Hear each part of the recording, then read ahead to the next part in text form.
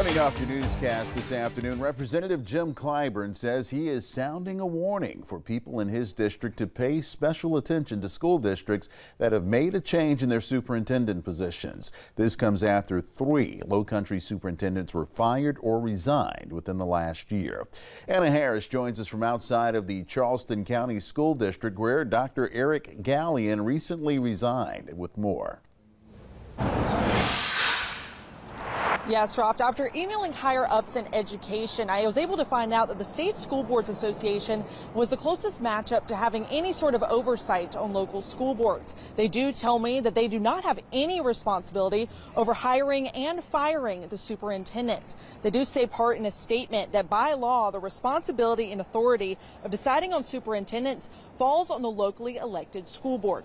Berkeley, Colleton, and Charleston County schools have parted ways with their superintendents in the last year, with some of these school boards not providing a reason why. Some local activists are pushing for more transparency and accountability to the public they serve whomever their constituents are, that's the students they're concerned with.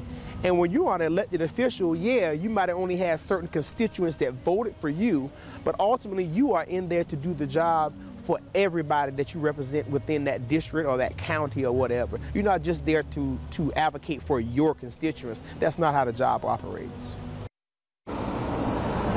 Tonight at 7, Clyburn explains why history cannot keep repeating itself with the full story. Reporting live in downtown Charleston, Anna Harris, Live 5 News.